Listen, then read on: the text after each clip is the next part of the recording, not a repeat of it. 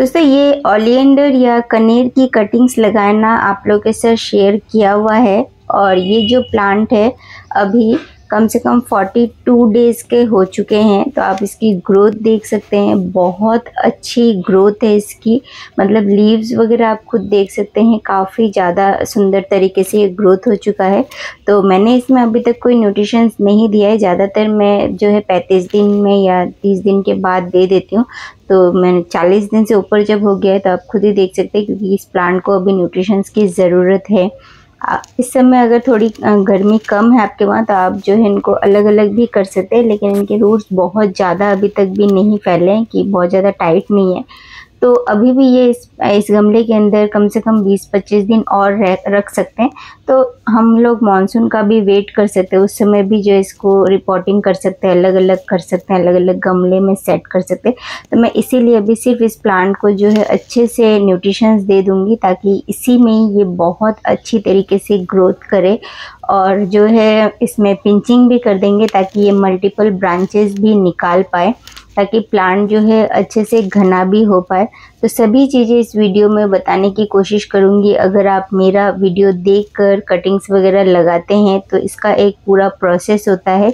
Cuttings लगाने से लेकर फूल किस तरह से लाया जाए, वैसे तो 45 डेज़ में ज़्यादातर जो प्लांट है, उसमें फूल आ जाते हैं। पचपन दिन के अंदर ज़रूर से आ जाते हैं, अगर न्यूट्रिशंस आपने टाइम पर दिया होगा। मैं इस प्लांट में थोड़ा सा लेट हूँ न्यूट्रिशंस देने के लिए, क्योंकि बहुत ज़्यादा हाई टेम्परेचर था यहाँ अभी, कुछ दिनों पहले भी। तो इसीलिए न्यूट्रिशंस देने में भी न्यू प्लांट को थोड़ा सा डर लगता है। तो चलिए इसको पहले न्यूट्रिशंस दे देते हैं, क्योंकि अभी यहाँ पर बीच बीच में बारिश भी आनी स्टार्ट हो गई है। तो इसीलिए मैं जो है इसमें न्यूट्रिशंस अभी दे रही हूँ। तो चलिए स्टार्ट करते हैं। पहले जो है इसकी मिट्टी को अच्छे से गुड़ाई कर लेंगे। बहुत ज़्यादा अगर आपके वहाँ टेम्परेचर ज़्यादा है आप वर्मी कंपोस्ट देकर छोड़ सकते हैं। उससे ज़्यादा ज़्यादा से ज़्यादा थोड़ा बहुत जो है सीवीड दे दीजिएगा और कुछ देने की ज़रूरत नहीं है। नए प्लांट में अगर आपका प्लांट पैंतीस दिन से आसपास है तो मैं यहाँ पर वर्मी कंपोस्ट दे रही हूँ। वर्मी कंपोस्ट में जो है पूरा कंप्लीट खाद होता है हमारे प्लांट के लिए ये आठ इंच के गमले में लगा हुआ है और यहाँ बहुत सारे प्लांट है आप खुद देख सकते हैं। शायद सिक्स टू सेवन कटिंग्स मैंने शायद ग्रो किया था। तो दो मुट्ठी जितना मैंने यहाँ पर वर्मी कंपोस्ट दिया है और वर्मी कंपोस्ट ठंडी खाद है तो गर्मी अगर ज़्यादा भी रहती है आपके वहाँ पर तो आप देंगे तब भी आपका जो प्लांट है वो काफ़ी अच्छे से हेल्दी तरीके से ग्रोथ करेगा और प्लांट के लिए सभी तरह के न्यूट्रिशंस रहते ही है इसमें। और यहाँ बोन मील दे रही हूँ। बोन मिल देने से आपके प्लांट की जो रूट्स है, वो भी काफ़ी अच्छे से स्ट्रांगली जो फैलता है। तो दो चम्मच जितना मैं यहाँ बोन मिल दे रही हूँ और जो है आपके जो प्लांट का स्टैम्प वगैरह है, वो भी काफ़ी अच्छे से मज़बूत बनता है। तो काफ़ी अच्छी तरीके से प्लांट की ग्रोथ होती है ओवरऑल और ये दोनों चीज़ें मैंने यहाँ पर दिया है। और इसके अलावा भी एक चीज़ जो है, वो है सीवीड ग्रैनुअल तो ये मैं देने वाली हूँ, आप देख सकते हैं, एक चम्मच जितना। सीवीड में जो हमारे बाकी जो न्यूट्रिशंस इन चीज़ों में नहीं रहता है, वो इसमें मिल जाता है। तो प्रॉपर न्यूट्रिशंस हो जाएगा हमारे जो न्यू प्लांट है उसके लिए। इससे जो है पूरे प्लांट की ओवरऑल ग्रोथ होनी ही है।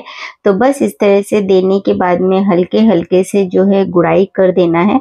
जो भी आप प्लांट लगा रहे हैं कटिंग्स लगाने के बाद आप 35 दिन के बाद न्यूट्रिशंस दे सकते हैं, क्योंकि रूट्स इतनी डेवलप हो जाती है कि वो न्यूट्रिशंस ले पाता है और आपका जो प्लांट है वो अच्छी तरीके से ग्रोथ कर पाता है।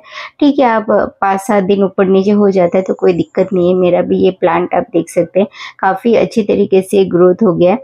अब इसमें अच्छे से पानी दे रही हूँ और इसी तरीके से आप भी कटिंग्स लगाइए।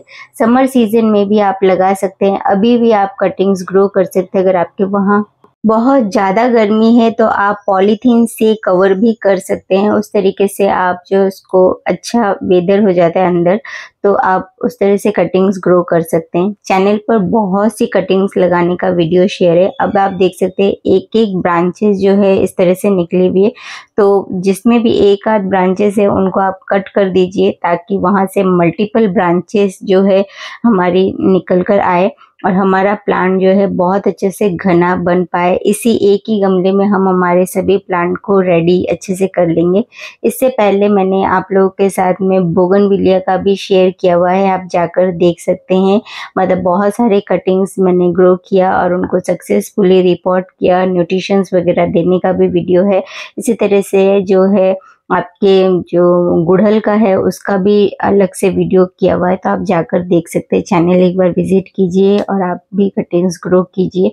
तो बस यही चीज़ें आज आप लोगों के साथ शेयर करना था और आप खुद ही देख सकते हैं कितने सारे ऑलियंडर के जो कटिंग्स है, वो बिल्कुल हेल्दी तरीके से ग्रोथ हो चुका है।